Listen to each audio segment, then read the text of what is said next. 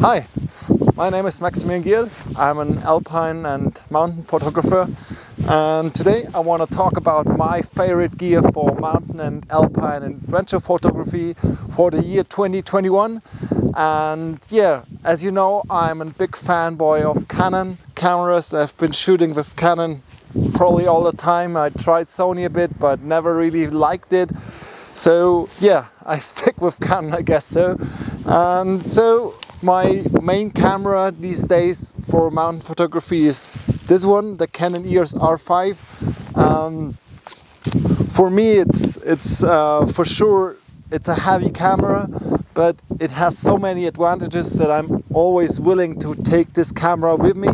Um, with its 45 megapixels, I'm able to crop a lot into the image, and this helps me because often I'm not able to actually change the lenses um, or I even don't even bring another lens than just the 15 to 35 and so I can crop in there. Um, and so when I have 35 and crop in there 100% I still have 22 megapixels around like that and I have a 70 millimeter focal length. So this is pretty handy um, to be honest and I mentioned already um, another lens but the lens I have attached here is the RF 70 to 200 f4 and for me it's just the perfect lens ever. Um, I love to shoot with telephoto lenses in the mountains. And this one is just the perfect kind of size to weight ratio. And you can lock it that if you have it in your backpack you can change it um, it changes the length when you actually um, when you when you zoom in but um, in the backpack it comes in pretty handy if you remove the I mean look at this that's crazy. Well done Canon. I'm really I'm really amazed of this. And so you have like this um, it's a 77 uh, millimeter diameter for any filters. So this is also pretty good to know because I have a lot of 77 uh, millimeter filters. And yeah so that's that's what I use for for like for the mountains for sunrises wherever. And my always good to go lens is this one the 15 to 35 um, for me, it's the perfect lens to have it always on the camera um, because I can shoot portraits with it.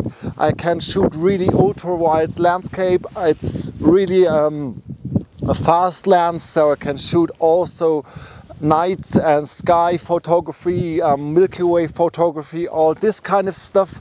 And so these kind of lenses, these two are just like for me the perfect combination when I shoot in the mountains.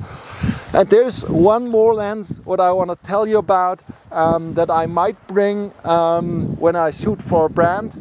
Um, and this is the the 50 f 1.2. Um, it's probably one of the sharpest lenses I've ever owned. Um, for sure it's heavy, but it's incredible uh, with the bokeh and I simply just love this lens. And I yeah I really love to shoot with a fixed lens and with the 50 millimeters. It's really really cool um, to try something new. And yeah really can recommend to buy a good 50 millimeter uh, lens and you will have a lot of fun with this kind of stuff. And yeah I think that's the that's the thing. Um, I have also the Canon EOS RP this one is filming me right now and I break, bring this if I really look for the gram. And it's also really good in low light performance because it has less megapixels. So you will have the better um, low light performance than with the R5 and yeah I think that's probably my two main cameras. If I shoot for an event or a brand where I need a little bit more resolution I have still the EOS R which is also a really good camera. But for sure if it really matters I bring the R5 yeah I think that's it what I usually bring. Um, if I do film, I bring uh, some ND filters, um, variable ND. Right now I have on there the Peter McKinnon um, variable ND. Uh, really can recommend this one. Uh, this is not sponsored, by the way. Um, they're really expensive, those filters, but they are really, really, really perfect. So if you wanna buy a variable ND filter, look for these. These are really great. And yeah, I think that's it. Um, if you have any questions about my gear or whatever, just leave it in the comments down below. And if you want to stay updated, see more tours and reviews and tips and tricks, just hit that subscribe button. And yeah, I promise you, it's for free. And if you do so, I'll see you in the next video.